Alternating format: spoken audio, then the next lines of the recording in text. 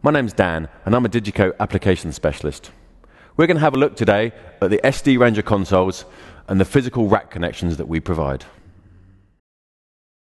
In the world before digital consoles, interfacing with external systems was relatively simple. Analog connections, either balanced or unbalanced, XLR sockets, jack plugs, and the only thing you had to worry about was a bit of hum. Today, things can be a little more complicated, and with the additional problems of clocking and multiple digital formats to interface to, it's essential that the right product sits at the center of your system.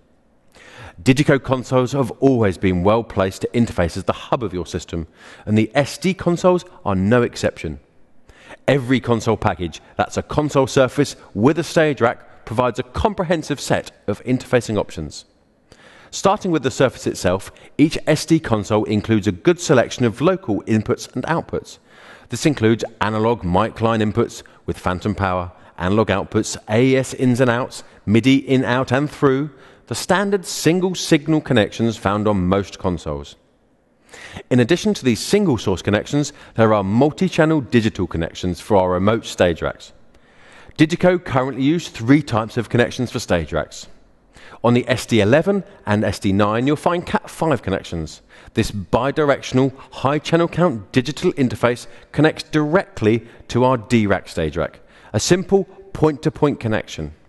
If the D-Rack needs to be shared between consoles or converted into MADI for use with one of the other SD consoles, the Digico Solutions Little Red and Little Blue boxes provides alternative interfacing options. All SD consoles include at least one MADI port that allows interfacing to any other MADI connected stage rack, as well as third party MADI enabled devices. These are ideal for connecting to recording devices like the Digico UB MADI interface, quick and easy recording and playback on most USB 2 enabled computers. Most SD consoles also include the option of fiber optics for rack interfacing. This redundant, ultra high capacity, high speed connection caters for hundreds of inputs and outputs at both 48K and 96K sampling rates. Connect up to five redundant consoles and 14 racks together on each fiber loop. Perfect for large touring and installed systems. But what about the racks themselves? The D rack is the Cat5 connected stage rack and is fitted with 32 high quality mic amps and 8 analog line level outputs.